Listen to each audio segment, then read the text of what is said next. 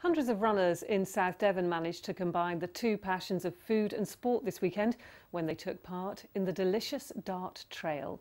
The event along the River Dart includes some of the best of Devon's produce along the way.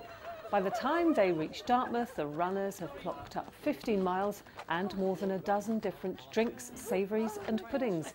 The money raised goes to Chicks, which provides respite breaks for disadvantaged children. A lot of people say, oh, I'm not sure if I can run and eat at the same time, but those who are game to give it a go, I think find that with a little bit of walking in between, you can manage it. And anyway, having a stitch is well worth it when you think of all the wonderful food they're enjoying.